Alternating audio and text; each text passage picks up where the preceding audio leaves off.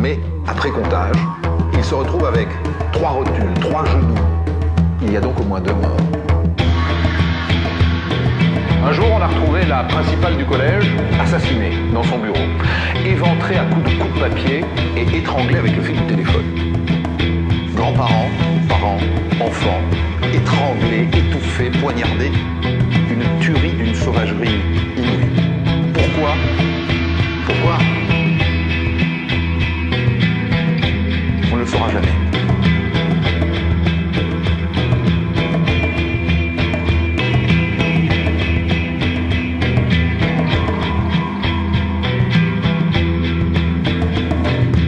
39 ans, marié, père de deux beaux enfants.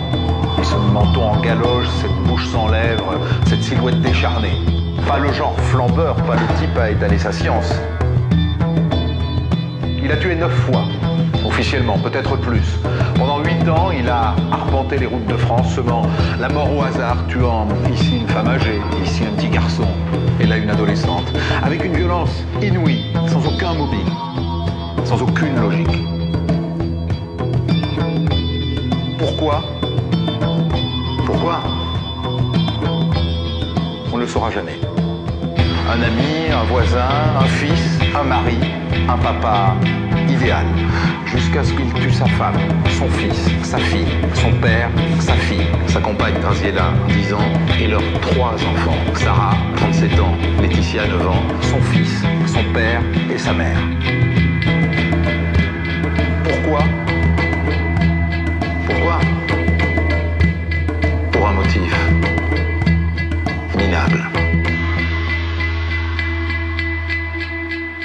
Moment vous n'avez envisagé que cette viande dans le frigo euh, soit votre mère. Le pire, c'est qu'il tuait pour rien, presque. Et que tout le monde, 39 ans, village, savait capable du pire. Traqueur, menteur, usurpateur, à la limite de l'humanité et modeste avec ça.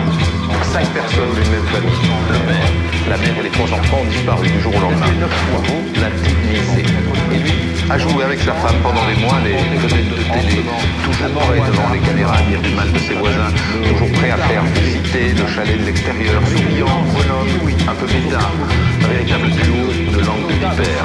Sauf que, sauf que c'est lui qui les a tués. Jusqu'à ce que le 9 janvier 93, un carnage prémédité et réalisé de sang-froid.